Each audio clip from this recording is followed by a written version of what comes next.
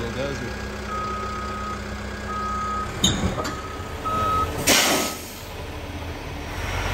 Won't last long all, that.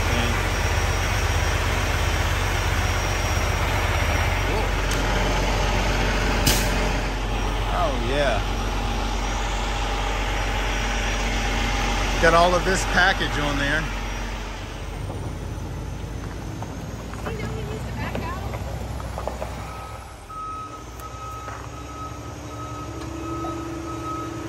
How's that in there? Oh yeah.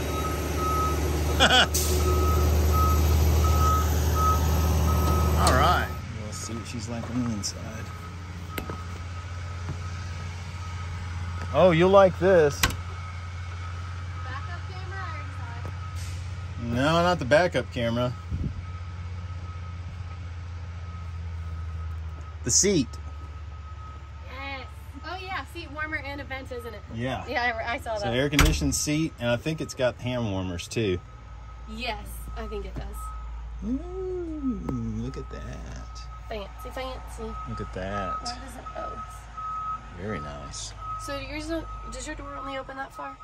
No, it opens farther. Okay. Just on a hill. All right, let's turn this key over here.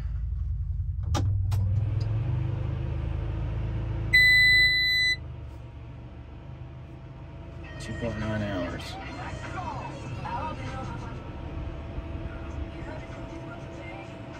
Somebody's jamming in here.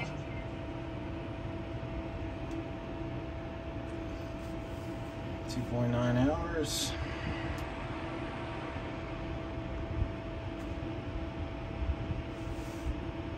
It's all calibrated. This machine have the screens on the back. It's nice. It has sweeps outside. Headlights up the top. It's all ready to go. Start her up. Yeah, got a signal. That's good.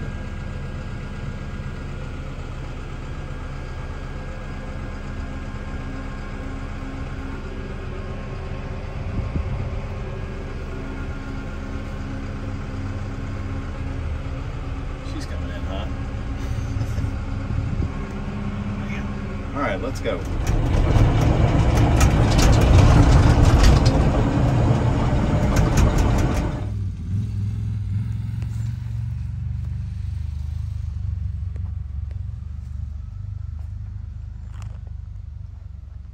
There it is. Brand new Cat D1. So new Cat D1 dozer. Um, really glad to get this machine. This will be dozer number three for me. I also have larger dozers. I have a D6N, and um, but this is nice. Having a uh, brand new small dozer once again is is really nice. So um, yeah, it's gonna be a lot of fun. Looking forward to putting it on some smaller projects.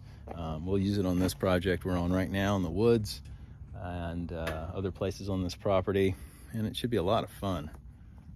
Cat really packs in a lot of fun uh, technology into this machine, um, and uh, it's really nice to have. These mosquitoes are going crazy around me. Anyway, this would be really nice. You know, I shoot videos and pictures of jobs and equipment and all of that, and this is exciting. This is really nice to have.